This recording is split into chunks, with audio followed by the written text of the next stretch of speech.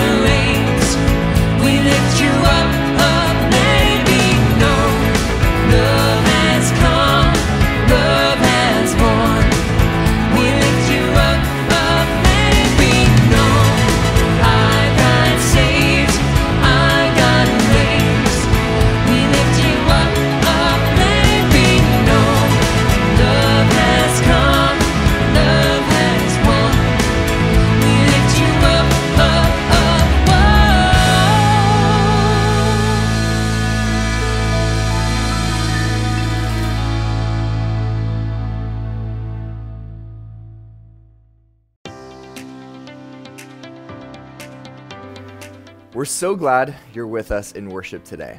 If you're new or you have new contact information, please fill out one of the white Get in Touch cards that are in the pew racks and put it in the offering plate. Or stop by our Connection Center in the narthex. We'd love to meet you. If you'd like to receive our weekly email and find out about everything going on at LCPC, you can sign up on the homepage of our website at lcpc.net, call the church office, or scan the QR code on the screen. Santa Claus is coming to town, and he has a special mailbox in front of the church this year. It's near the sidewalk just west of the sanctuary entrance, and anybody can leave a note for Santa inside. Be sure to include a return address and drop your letter off tomorrow, December 19th, in order to receive a reply from Santa. Christmas is one week away. This year, LCPC will have three opportunities to celebrate the birth of Christ. two on Christmas Eve and one on Christmas Day. On Christmas Eve at 5 p.m., our contemporary praise band, The Blessed, will lead a fun, upbeat worship service focused on how Jesus meets us in times of need or pain. Then at 7 p.m., the LCPC choir will lead a traditional lessons and carols service with candlelight worship. Both services will feature a petting zoo in front of the church. Finally, join us on Christmas Day at 10 a.m. in the chapel for a casual Christmas service. Our children's ministry director, Josiah Bozick, will lead this family oriented service full of carols and fun. That's it for this week. Now let's continue with worship.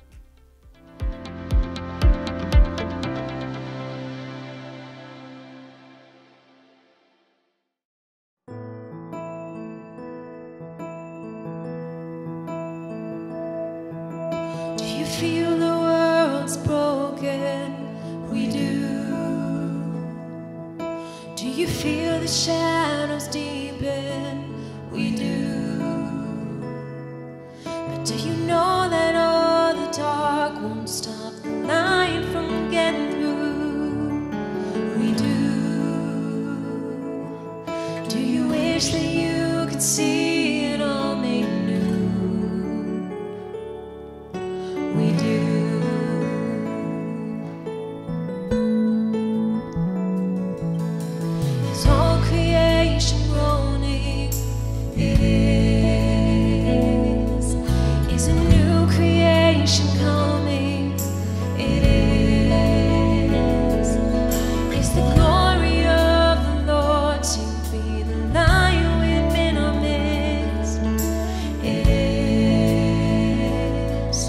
Is it good that we remind ourselves of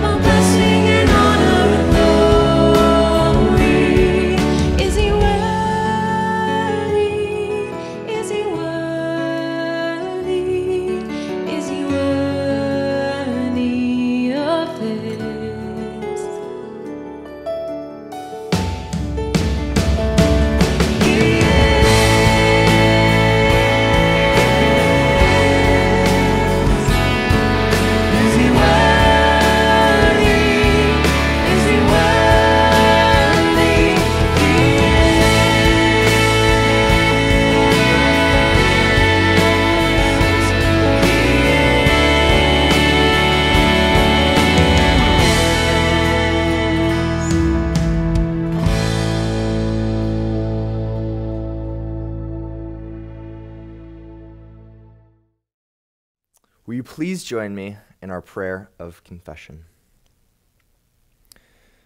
Almighty Father, forgive our sins. Forgive the sins that we remember and the sins that we have forgotten. Forgive our many failures in the face of temptation and those times when we have been stubborn in the face of correction. Forgive the times we have been proud of our own achievements and those when we have failed to boast in your works. Forgive the harsh judgments we have made of others and the leniency we have shown ourselves. Forgive the lies we have told to others and the truths we have avoided. Forgive us the pain we have caused others and the indulgence we have shown ourselves. Father, have mercy on us and make us whole for the sake of our Lord and Savior, Jesus Christ. Amen.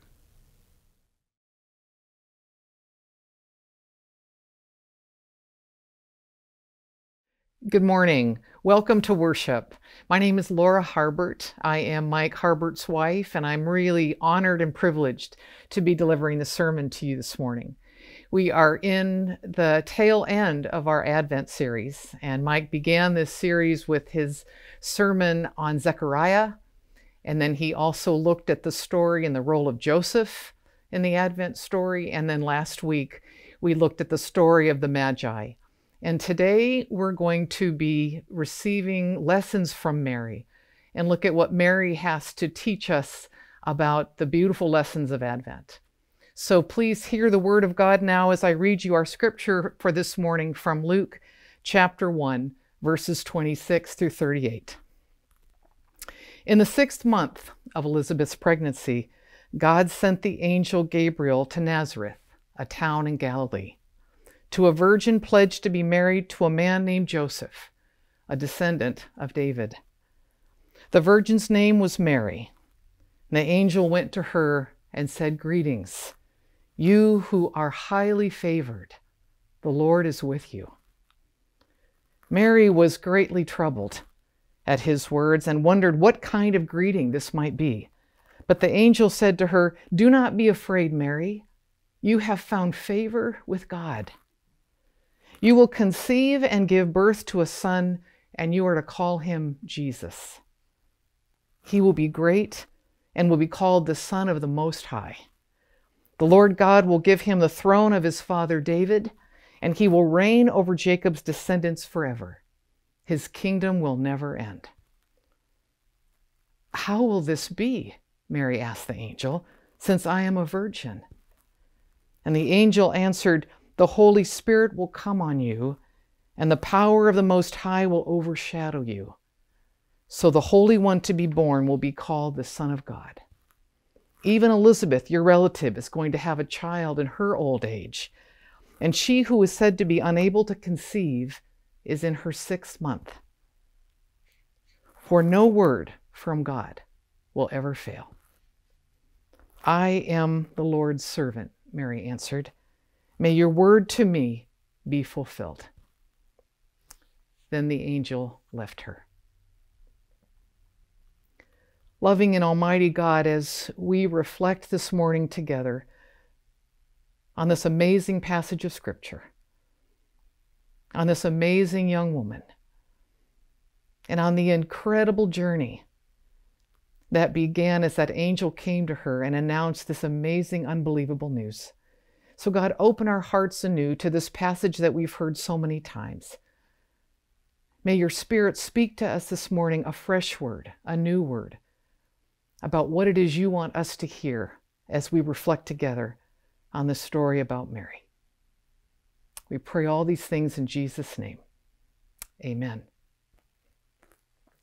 When I sat down a few weeks ago to begin my study for this sermon on Mary, I couldn't help but remember my one and only Christmas pageant that I have ever been in. I was not raised in the church, so I didn't get the chance as a little girl to be a donkey or a lamb or a shepherd. But when I was 31 years old, I was asked to be Mary in the Christmas pageant at the First Presbyterian Church of Evanston. And I was chosen not because I was on staff at the time or that there was anything particularly blessed or holy about me, but I had had a baby myself six months earlier. And at First Presbyterian Evanston, they did not mess around with a baby doll in the Christmas pageant. They had a real live baby. So they had a woman who had a five or six month old baby be Mary, and then her little infant, because it fit perfectly in the manger, a five or six month old fit in the manger that had been built years before and was the centerpiece of the Christmas pageant. So I had had months to get ready. I even had to sing a little bit of the Magnificat, which what I was most nervous about. I'd practiced my lines. The morning uh, of Christmas Eve morning, we had a dress rehearsal. Everything went great. My three year old son, Grant, had also been conscripted into the Christmas pageant as a manger angel. He and about five or six little preschoolers wore adorable white choir robes and a silver wreath made of scratchy, itchy tinsel, which will come into the story in a minute. And he, they were supposed to hover around the manger adoring the baby Jesus. Well, you'd think, being a psychologist, I maybe should have thought a little bit about this that this three year old was pretty tired of adoring his brand new baby sister the last six months.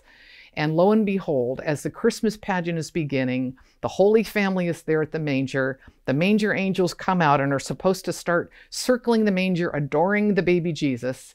He sees the baby Jesus' sister in the manger and has none of it. The first thing he did, he rips his halo off encouraging all the other manger angels to rip their halos off. And then he began opening the presents. There were these beautifully wrapped boxes that were all around the manger that were part of the decoration and to symbolize the, the gifts brought to the Christ child. And my son Grant, who was no longer a manger angel but became a little manger devil, started opening the presents. And as you can imagine, they were empty boxes that were wrapped beautifully. And a three year old that unwraps an empty box, it, it's something horrible in their mind that they can't even understand. Where is the toy? This is an empty box. So all the kids are opening boxes. The whole Christmas pageant is now up for grabs. People are hilariously laughing. I still get Christmas cards to this day from people who were there remembering the Christmas pageant fiasco. I was trying desperately to stay in the role of the Blessed Mother while I was giving my three year old son the evil eye. He knew I had no power to stop him. It was just a night. It was a nightmare. But it was, as I look back on it now, it's one of those stories that we often tell at Christmas time and can laugh a lot about it now. My other main association with Mary as I begin thinking about what I want to say this morning is that I attended a Catholic school growing up. I was, as I said, from a non religious family, and I became a Christian while I was in high school through the Ministry of Young Life. And I began very quickly to realize that Protestants and Catholics had a very different view of Mary. At my Catholic school, uh, there was a focus on Mary all throughout the year. There were prayers to Mary. There was a theology of Mary that Mary had been born without original sin, that Mary was assumed after her death into heaven. There was a lot of focus on Mary. In my Presbyterian church, where I began attending after becoming a Christian, Mary was never mentioned except in Advent. And there was actually, I think, a lot of maybe pushback or baggage of uh, reacting to the Catholic view of Mary, not wanting in any way to have Mary compete with Jesus. But what I feel today is I think if we could get past our theological differences about Mary and recognize that Mary is a big deal. Mary is the mother of God. And if there's one thing I know about mothers from my role as a psychologist, mothers are important. Mothers are really important. And if somehow, in this unfathomable mystery of the incarnation, that somehow Jesus was actually fully God, as it says in the Gospel of John, that the, he was the Word, and the Word was with God. And Jesus was there at the beginning of all creation, that Jesus was fully God, member of the Trinity. And yet, what we're celebrating at this time of year is that Jesus was born in human flesh. God was somehow surrendered. The majesty of heaven came down, as it says in Philippians, humbled himself, became a human being, and Jesus was also fully human. I think it's a lot more difficult for us to understand that part of Jesus, the fully human aspect of Jesus. But if what we say we believe is true, then fully human Jesus was loved into loving the way we all are by his mother. You know that when a baby is born, their range of vision is exactly the space between the crook of a mother's arm and her eyes, and the gazing, the loving gazing that goes on between a mother and an infant is literally shaping that infant's brain to love. The baby looks into a mother's eyes and sees that love and begins to understand what love is and comes alive. In that loving gaze, if you could map the brains of the infant and the mother, all parts of their brains light up when they're in that moment of loving, gazing connection. So somehow Mary helped God, who is love, learn to love. So, what do we see in our passage of scripture that helps us understand more about this amazing person who God chose to be the mother of Jesus? I want to acknowledge and I want to express my gratitude to Richard Rohr and Barbara Brown Taylor for a lot of my thoughts and reflections that I have this morning. Their writings, their sermons about Mary have influenced me this morning a lot. I want to acknowledge that. Richard Rohr talks about the fact that so often in Scripture, when people are called upon to great tasks, you think in the Bible, you think of Moses, Gideon, Isaiah, what's their response? They often say something like, Who am I, Lord? Send my brother. I'm not worthy. There's often an expression of unworthiness that accompanies this call by God, as if they're focused on their own efforts to become something or do something that would allow them to deserve this special assignment from God. I think we often feel that we need to earn or deserve God's attention by some quality or some effort that we have generated ourselves. But the angel comes to Mary and says, Mary, you have found favor with God. Favor, grace, mercy, undeserved love. You are favored. And Mary doesn't protest that she isn't worthy of this attention. She's perplexed. I think the scripture passage said troubled, but other translations say she was perplexed. She doesn't have any idea how to make sense of what the angel is telling her. She's experiencing what author and pastor Debie Thomas call holy bewilderment. Her encounter with the angel doesn't lead her to focus on her own worthiness or unworthiness. It doesn't lead her out of doubt into some rock solid faith. But Mary is moved out of certainty, out of the way that she had always imagined her life to be, always imagined God to be. She's moved out of that certainty and into holy bewilderment. What is happening to me? What is going on? What is God doing? How can this be? Has God ever ripped into your life in a way that was completely unexpected and maybe even unwanted? Have you ever asked Mary's question of how can it be? How can it be that I'm going through a divorce? How can it be that I found love after all these years of being alone? How can it be that my child has that diagnosis? How can it be that I'm being called into ministry? How can it be? We're going to experience things as we live this adventure of life that are more wonderful and more terrifying and more tragic than we ever could have imagined our life to be. Living a life of intimacy with God is not a safe life. It is not a life that will unfold according to our expectations or our efforts. It's a thrilling and a dangerous story that we become a part of when we say yes to God. Mary consents to this holy bewilderment. She consents to wonder and to stretch and to serve a God who dwells in mystery. She chooses to accept, to say yes to what she can't control and she sure doesn't understand. That's Mary's choice. The angel doesn't give her the choice of whether this is going to happen or not. The angel doesn't ask her permission for the Messiah to be woven together in her womb. But Mary does have a choice. Will she be a willing participant in this holy disruption? Will she say, Yes, I will live the life that's being held out to me? Or will I say no? No, I don't want to welcome this unwelcome thing. I don't want to be pregnant by the Holy Spirit, whatever that means. I will fight this or deny this. I will spend my energy trying to ignore this disruption and get back to life as I planned it.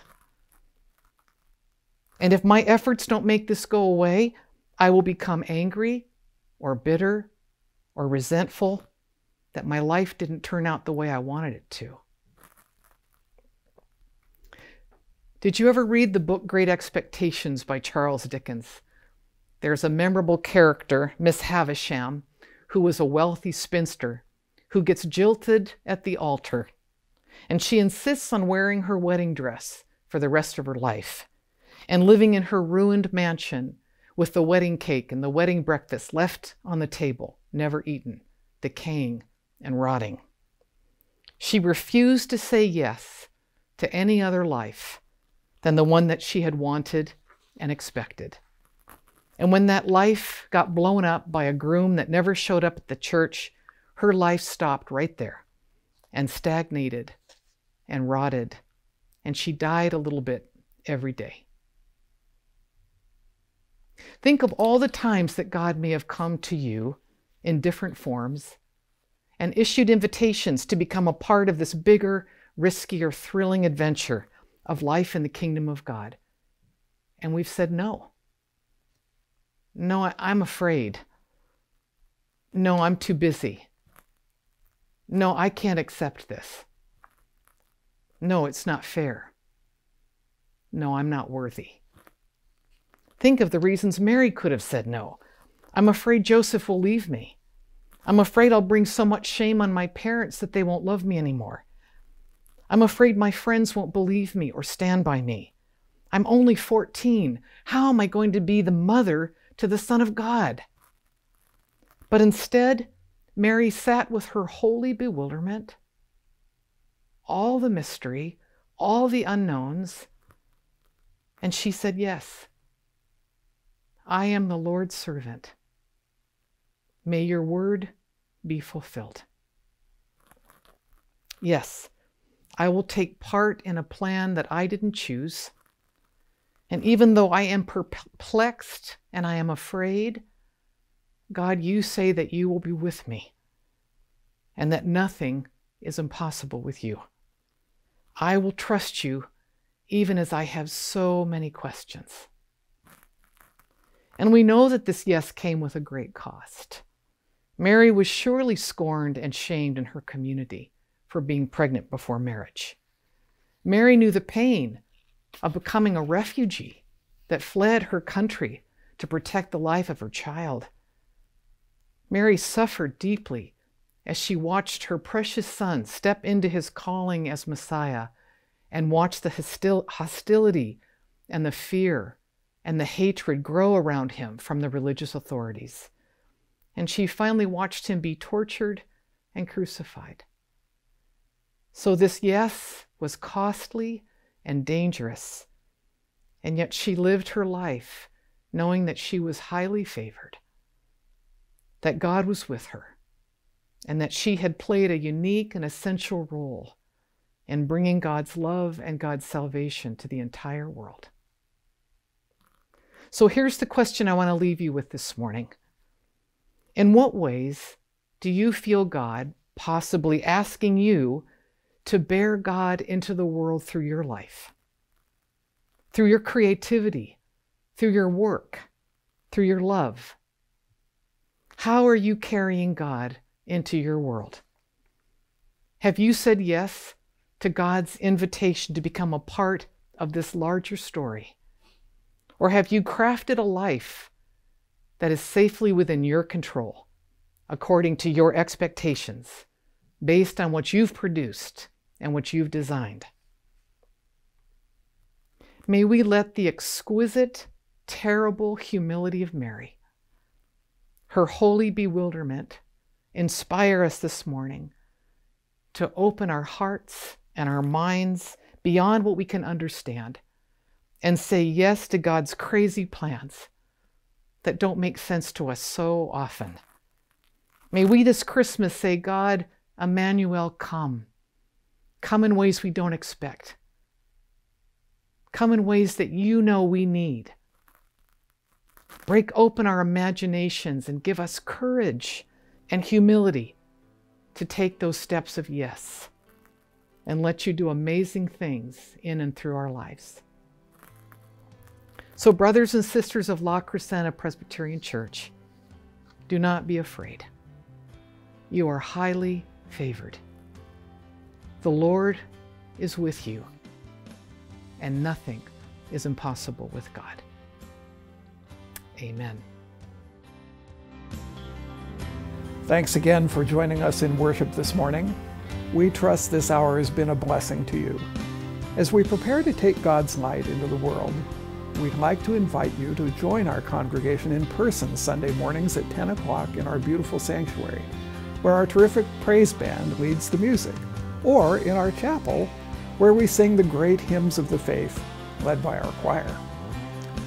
If you're feeling disconnected from the church, especially if you aren't able to leave home, please call or email Nancy in the office, and we'll have one of our caring deacons reach out to you. Now unto him who is able to keep you from falling, and to present you faultless before the presence of his glory with exceeding joy, to the only wise God our Savior, be glory and majesty, dominion and power, both now and ever. Amen.